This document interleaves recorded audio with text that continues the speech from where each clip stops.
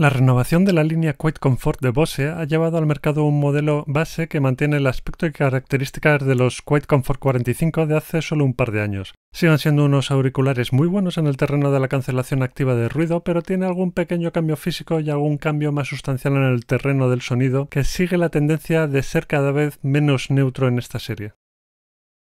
Los auriculares inalámbricos Quiet Comfort vienen acompañados de su propio estuche de transporte en, el cual se puede guardar el cable USB tipo A a USB tipo C de recarga, así como el cable de 3.5 milímetros que permite usarlos mientras se están recargando. Uno de los cambios de este modelo es que ese cable incluye un micrófono que dará un toque más natural a la voz grabada, como podréis comprobar más adelante. El diseño de estos auriculares es el habitual en la serie y es uno que me gusta especialmente. Es un diseño bastante estándar de diadema con acolchamiento forrado de cuero sintético de muy buena calidad y dos amplias copas con almohadillas con mismo forrado. Tienen amplio espacio para las orejas, que es por lo que no tienen demasiado acolchado y se sienten muy cómodos a la hora de llevarlos durante horas. Las almohadillas son intercambiables, lo cual es imprescindible al ser de cuero sintético. Este tipo de almohadillas me suelen durar un par de años usándolos casi todos los días, pero en ambientes más calurosos pueden durar algo menos. La copa derecha incluye el interruptor de encendido y los controles de volumen y reproducción, así como la toma USB tipo C de recarga. En la copa izquierda está la toma de audio de 3.5 mm, pero también hay un botón que sirve para cambiar entre la cancelación activa de ruido o el modo transparente, pero en la aplicación de móvil se pueden configurar más modos ajustando la cancelación de ruido desde 0 hasta el 100%. Sobre la cancelación activa del ruido ha sido siempre el punto fuerte de esta serie de Bose y en esta ocasión no es distinto. Se nota que ha mejorado entre los QC35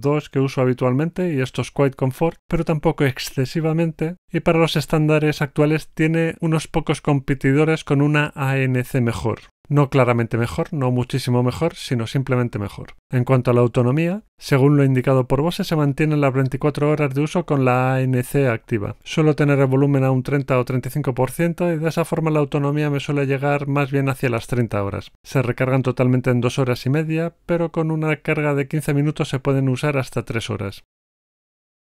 El sonido de los auriculares de esta serie se aleja cada vez más de un sonido neutro en cada iteración. Puede que a una buena parte de los usuarios no les moleste, pero a otros probablemente sí, sobre todo si saben cómo tiene que sonar su música, incluso sin llegar a ser un audiófilo. Los graves están reforzados, lo cual puede hacer que para ciertos tipos de música las canciones suenen mejor, pero la parte de los agudos es más irregular.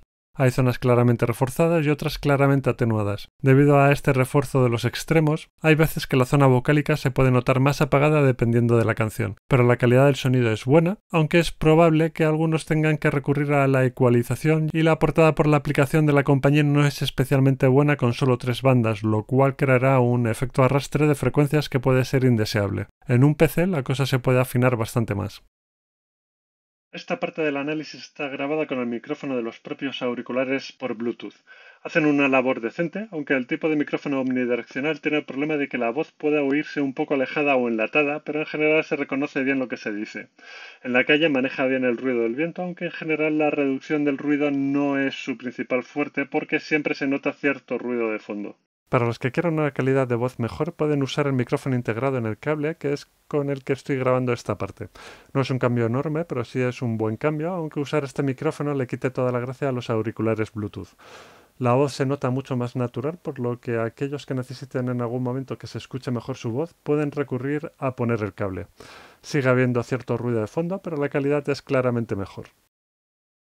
Llevo usando los Quiet Comfort 35 desde 2016 a diario y probablemente ha sido una de las mejores compras que he hecho de electrónica. No hay nada de lo que arrepentirme, y probablemente la mayoría de compradores tampoco le encontrarán nada malo a los auriculares Quiet Comfort, pero los que tengan un oído más fino quizás sí. La potenciación de los graves y el toque al alza o a baja de ciertos rangos de agudos puede resultar más evidente en unas canciones que en otras, pero lo que es innegable es que el sonido de esta serie cada vez es menos neutro, lo cual puede ser un problema si no se corrige a tiempo. Como digo, la mayoría de los usuarios no lo notarán. De hecho, el refuerzo de graves queda bien para música machacona como rock o incluso queda bien para los que vayan a jugar de vez en cuando con estos auriculares, pero no es el camino a tomar para los audiófilos. Por lo demás, tienen el mismo diseño que me parece comodísimo de llevar durante horas y horas, la cancelación activa de ruido es muy buena, aunque quizás necesito una revisión por la dura competencia que empieza a haber, y el añadido al micrófono en el cable de 3.5 milímetros es de agradecer.